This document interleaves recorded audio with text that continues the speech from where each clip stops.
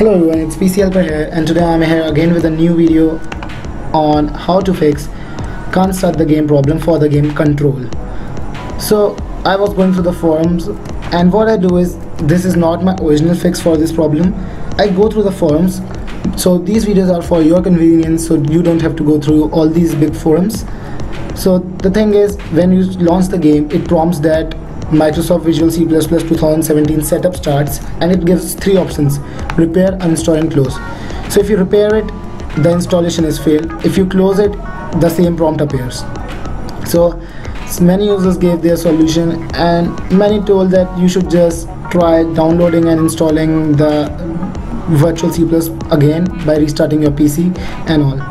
But one solution worked for all and it is confirmed and is 100% working.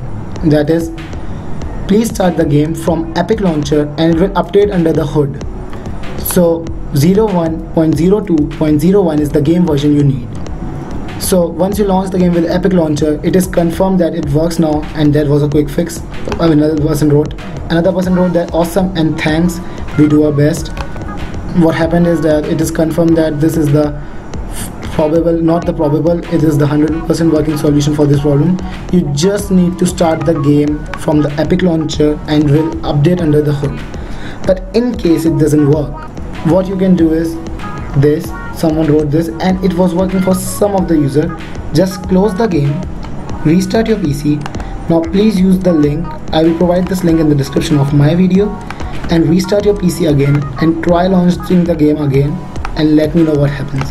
So just restart your PC and try installing Virtual C++ all again and then again restart your PC and try launching the game. So the first solution was confirmed, it was working, but if it doesn't work for you in any case, try the second one. It will most probably work for you all. So thank you for watching this video. That was all for this video. Thank you and have a nice day.